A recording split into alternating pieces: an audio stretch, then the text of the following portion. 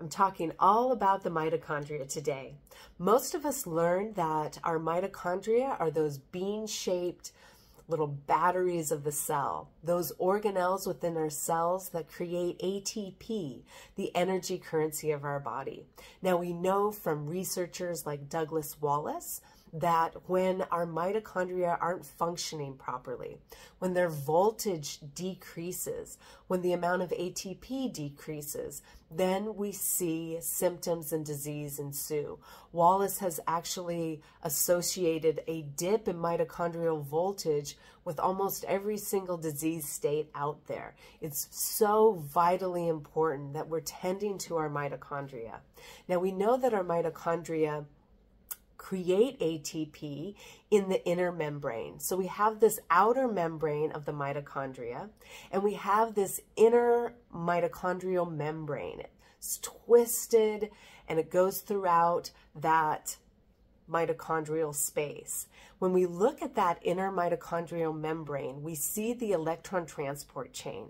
This transport chain has four different com protein complexes in it, the fifth complex is called ATP synthase. It almost looks like a little T, and the top of the T rotates, creating a magnetic pull that brings that last proton from the inner mitochondrial membrane space into the inner mitochondria, creating a that final ATP. And so we know that our mitochondria are producing ATP that we use for energy and signaling. It's creating uh, water that's perfectly suited for that cell-bound energetic structured water within our mitochondria and within our body. It's also creating infrared energy, which is again a wonderful way to energize that cell-bound water, which I talk about in a lot of other videos. Now, this electron transport chain we learned in school is like a straight line. It's complex one, two, three, four, and that ATP synthase. But really, it's not it is looking more like a circle, right? It's more of a circle of these complexes coming together. And what we know is that it's not static. It's very dynamic. It changes shape and form depending on the environmental signals around it. And so researchers are calling this super complexes or ultra complexes where those protein complexes in the electron transport chain, the ETC, are coming together to create different forms where ATP is more effectively produced. Now we know that the electrons that are donated from food and um, traveling through that ETC are tunneling. They're using quantum tunneling. We know that the protons that are traveling um, from those mitochondrial membrane spaces are also tunneling, jump conducting via that structured water network. So we have this quantum biological lens looking at how those proteins in the ETC come together.